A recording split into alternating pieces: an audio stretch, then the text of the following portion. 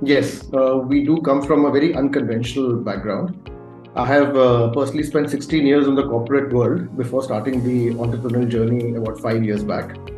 I don't have a traditional business mindset, uh, but we knew our business and uh, that it had a lot of potential.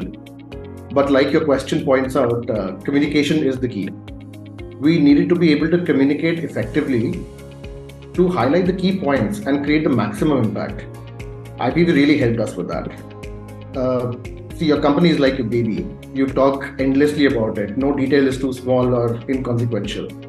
IPV helped us cut through the maze of information and create a pitch which was easy to understand without losing any of the key factors. Uh, it helped us immensely in getting our points through to the investors and uh, gaining their confidence to invest with us.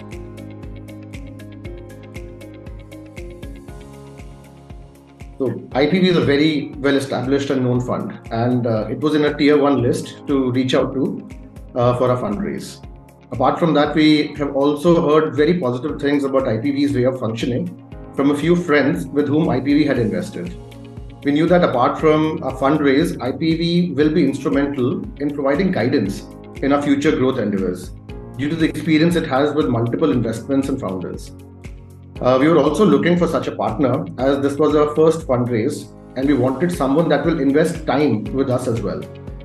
I can confirm this as a first hand experience now after having worked with IPV for the last few months. Uh, they have already initiated a mentor program which provided expert guidance in different aspects of business.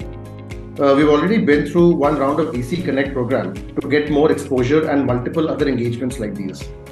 Uh, we could not have found a better first partner for our journey and uh, look forward to working together for a long time with IPV.